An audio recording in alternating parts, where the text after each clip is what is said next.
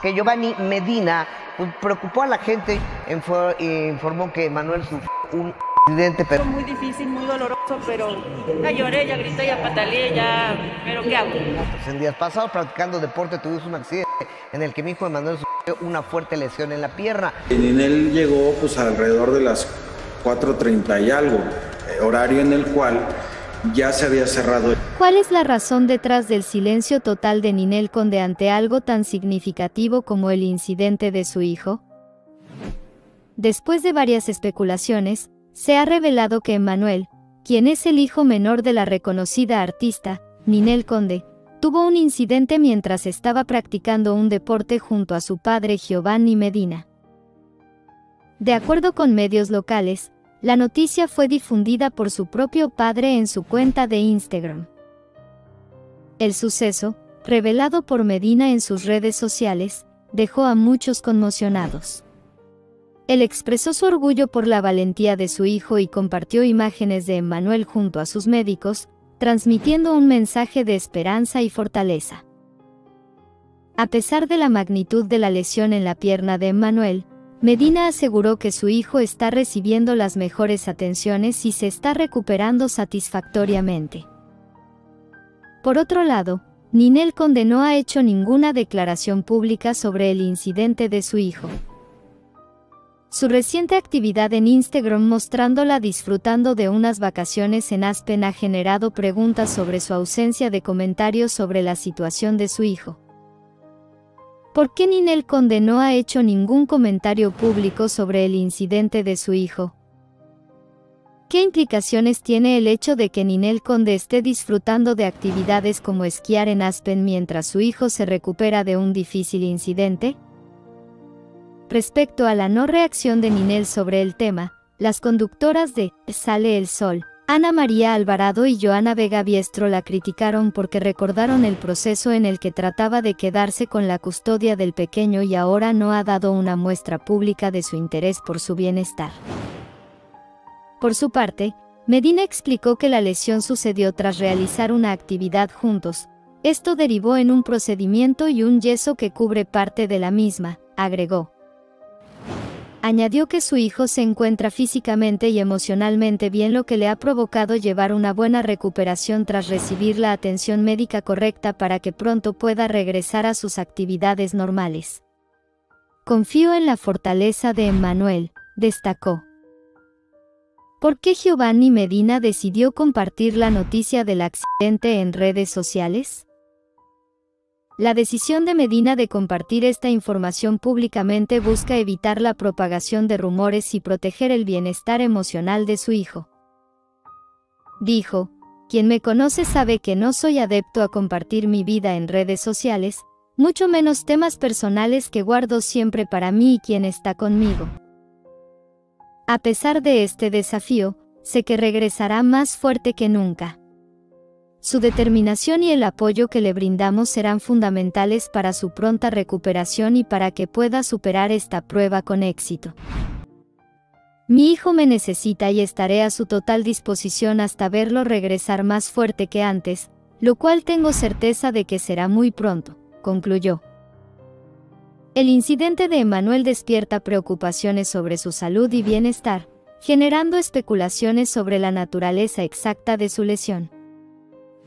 Aunque no se ha proporcionado información detallada sobre el tipo específico de lesión, la presencia de un yeso y su uso de una silla de ruedas sugieren posibles fracturas o esguinces en su pierna. ¿Qué opinas tú?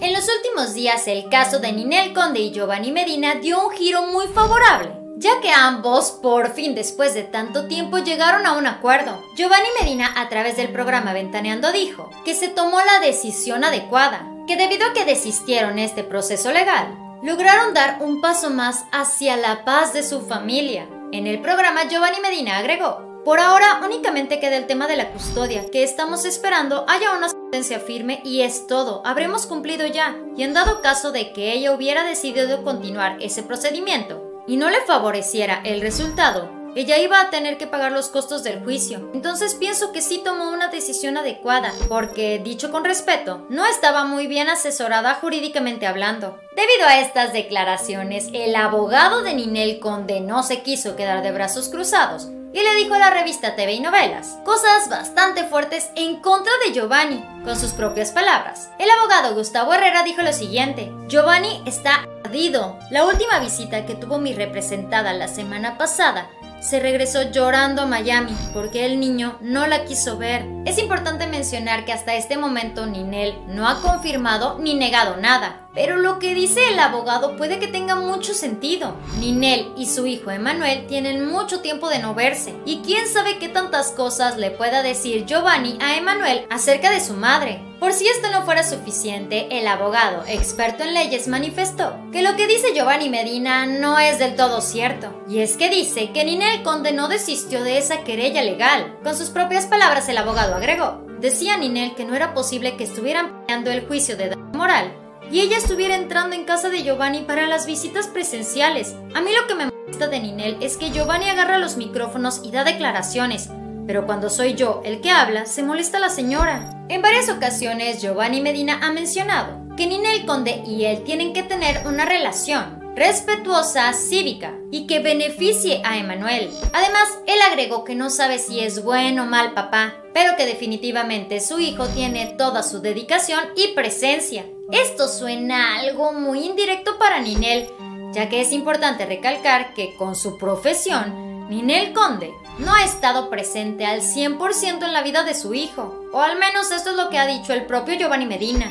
Mientras tanto, el licenciado Herrera dejó algo muy en claro diciendo, ya va a quedar sin efecto ese juicio, pero van a tener que ratificar en el juzgado. La querella legal ya se terminó, aunque yo tengo una carta bajo la manga para reactivar el proceso si Giovanni se quiere pasar de vivo. A mí no me gusta mencionar mucho a mi hija porque no le gusta el medio ni le gusta, pero... El niño tiene pesadillas en la noche. Es un infierno de verdad. Es por eso estoy desesperada, por eso estoy aquí. Por...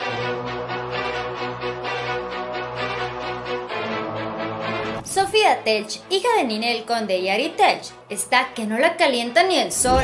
Se dice que la joven anda insoportable y se la pasa en fiestas. Por eso su madre, Ninel Conde, ya le dio una enorme advertencia.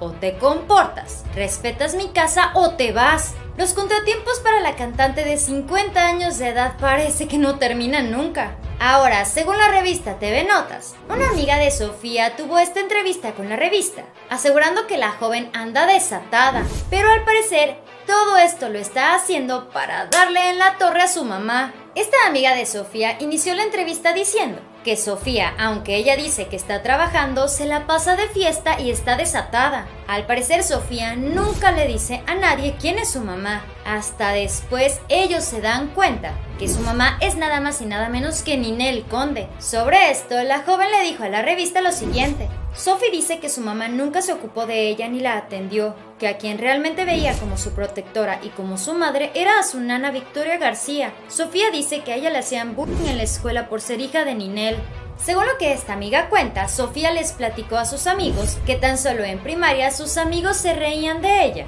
diciéndole que estaba muy, muy fea. De igual manera dijo que a Sofía le daban mucha pena los escándalos de su mamá, desde su forma de vestir hasta todas las noticias que salían con sus parejas. Sofía tiene mucha mejor relación con Ari Telch, su papá, que con Ninel. De hecho, ambos estuvieron viviendo juntos durante un tiempo. Justamente fue Sofía quien pidió que la mandaran al extranjero, porque al menos allá no sabrían de primera mano que ella era hija de Ninel Conde. Según esta amiga, a Sofía Telch le agrada mucho beber y andar de fiesta. Y es que ahora que Ninel Conde estuvo en Miami grabando Tu cara me suena, Sofía tenía casa sola. Esta amiga cuenta que incluso salían casi todos los días. Para la revista, esta amiga platicó una pequeña anécdota donde supuestamente sus amigos llegaron a la casa de Sofía aproximadamente a las 6 de la mañana para que Ninel no viera en qué estado habían llegado. Sofía desconectó las cámaras de seguridad y esto hizo que Ninel se preocupara aún más. Con el paso del tiempo y con tanta pachanga, a Ninel no le está pareciendo la forma de comportarse de su hija, por lo que esta amiga comentó. Ninel ya no sabe qué hacer. De hecho, un día le dijo que si Sofía ya se creía muy adulta, que se fuera de su casa.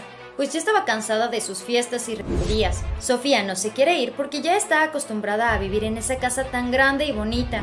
Por lo que sé, Ninel ya le advirtió, o respetas mi casa o tendrás que irte. Ahorita Ninel ya está por regresar a su casa, y Sofía está pensando si se sale o no. Este fue el Muro de la Fama. Dale like a este video, suscríbete y síguenos en Facebook. Pero antes de que te vayas, chécate este video. Espero que tengas un excelente día. Nos vemos muy pronto. Bye.